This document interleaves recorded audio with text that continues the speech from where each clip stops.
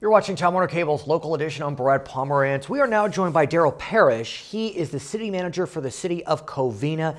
And, sir, I've been speaking with a lot of municipal officials, and they all seem to be speaking about the same issue, which is their concerns over prison realignment, which is the program whereby lower level offenders are not serving their time in state prisons but county jails as a result of a Supreme Court order, U.S., saying that our state prisons were overcrowded. The issue for local communities is the, the, the, prisoners as they're being pushed to the county jail system, the prisoners in the county jail system are being pushed out, released back on the street, and local communities have to deal with the recidivism, the recurrence mm -hmm. of crimes that are committed by these individuals. But, but as I understood it, one of the intended benefits of realignment is these lower level offenders would be serving their time locally. They wouldn't be shipped to other counties, and there would be programs put in place so that while they're there, they're learning how to reintegrate into society, and after they're released, they may be part of continuing programs. There, there's just no resources to provide the, the level of programs that need to be provided. The county jail system was not designed to hold long-term prisoners.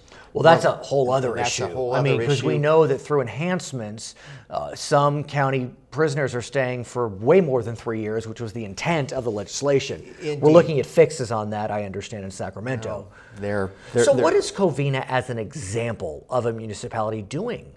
Well, actually, our issue is lack of resources. There's no additional funds that have been passed down to deal with the additional crime that's, that's, that's being committed is by some of these individuals. More crime? You know, there there is an uptick in, in, in certain types of crime, i.e., property crimes, vehicle burglaries, breaking in. Are you convinced that it's as a result of these AB 109 prisoners, or could it be that the economy is turning around, so people are getting more brazen and you know, it, it, it, could be a perfect storm. Mm -hmm. we, mm-hmm. we, definitely believe that AB 109 has something to do with crime rising in, in communities, especially mm. a particular type of crime, i.e., the types that I just These mentioned. Low, lower level lower level issues, primarily, mm. although not always, because you know one of the things with the AB 109 program is it's based on the last right.